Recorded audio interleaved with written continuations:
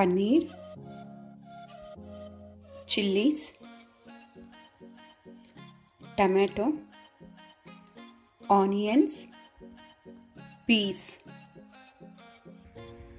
garlic ginger కారం పసుపు chaat masala salt oil ఇలా ఒక బౌల్ తీసుకొని గ్యాస్ ఆన్ చేసి ఇందులో ఆయిల్ తీసుకోవాలి. కొంచెం అయితే సరిపోతుందండి. కొంచెం ఆయిల్ హీట్ అయ్యాక ఇందులో ఆనియన్స్ వేస్తాను.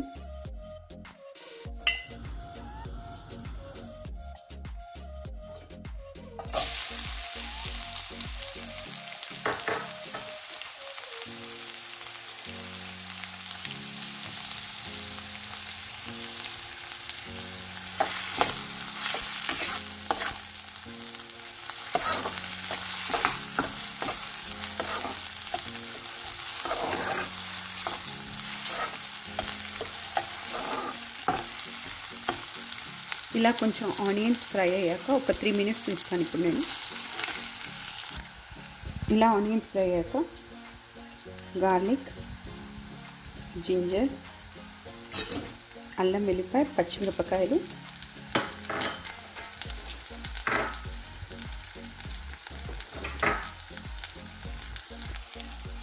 టమాటోస్.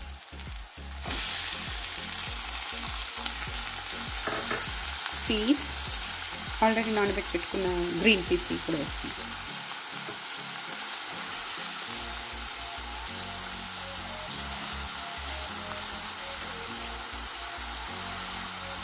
బాగా కలపాలి.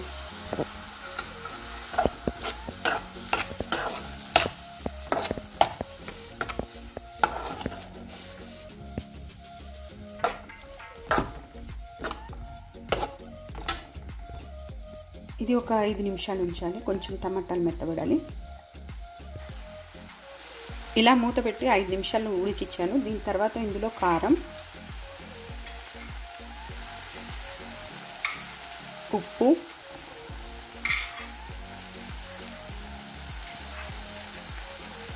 పసుపు వేసి మళ్ళీ ఒక ఐదు నిమిషాలు మూత పెట్టి ఉడికించాలి దీన్ని. చూసారు కదా ఇలా మొత్తం దగ్గరికి రావాలి. ఇందులో కొంచెం వాటర్ వేసి టమాటాలు మొత్తం మెత్తగా అయ్యేంత వరకు ఉడికించుకోవాలి. కొంచెమే వేస్తుంది మొత్తం. టమాటాలు మొత్తం ఉడకాలి ఆ పీస్ కూడా మొత్తం ఉడకాలి. ఇలా అయిపోయాక నేను ఇందులో పన్నీర్ యాడ్ చేస్తున్నాను.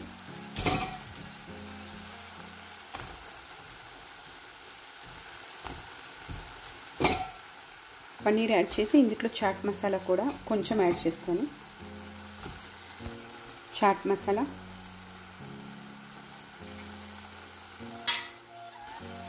ఇలా చాట్ మసాలా కూడా యాడ్ చేశాక ఈ లిక్విడ్ మొత్తం పోవాలండి. అది పఫ్కి స్టఫ్ చేసినప్పుడు బయటికి లిక్విడ్ రాకుండా అది మొత్తం పోయేదాకా డ్రైగా చేయాలి కొంచెం.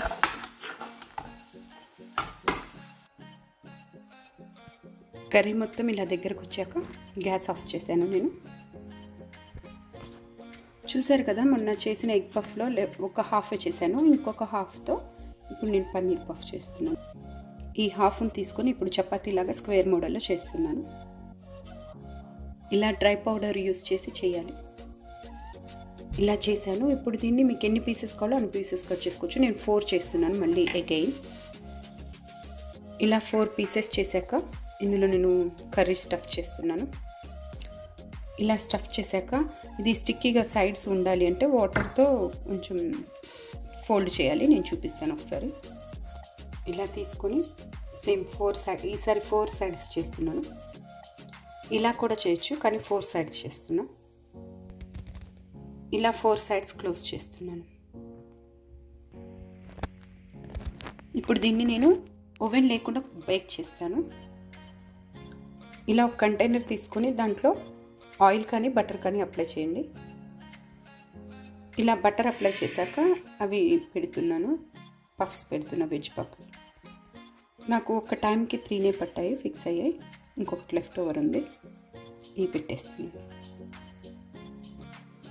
ఇలా నేను ఒక బిగ్ బౌల్లో మీరు కొంచెం దానిపైన స్టాండ్ వేయాలి. నా దగ్గర స్టాండ్ లేదు కాబట్టి నేను ప్లేట్ యూజ్ చేశాను. ప్లేట్ వేసి దానిపైన బౌల్ పెడతాను అనమాట ఇప్పుడు కొంచెం ఒక టెన్ మినిట్స్ హీట్ అయ్యేదాకా ఉంచి. ఇలా పెట్టేశాక దీన్ని క్లోజ్ చేస్తున్నాను నేను. క్లోజ్ చేసేసాక నేను ఇరవై నిమిషాలు ఉంచుతానండి. ఇరవై నిమిషాలు ఉంచి ఒకసారి చెక్ చేస్తాను. మీరు పదిహేను నిమిషాల నుంచి కూడా చెక్ చేయొచ్చు. ఒకసారి చూద్దాము. బేక్ అయినలేమో నేను ఆల్రెడీ చెక్ చేశాండి చాలా మంచిగా వస్తుంది. మీరు డెఫినెట్గా ట్రై చేసి చూడండి. మీరు కింద ఇసుక వేసి కూడా ఇలా స్టాండ్ పెట్టుకోవచ్చు. మీరు డెఫినెట్గా ట్రై చేసి చూడండి. చాలా మంచిగా వచ్చినాయి మీకు కనుక ఈ వీడియో నచ్చినట్టయితే ప్లీజ్ లైక్ చేయండి షేర్ చేయండి సబ్స్క్రైబ్ చేయండి. Thank you for watching bye see you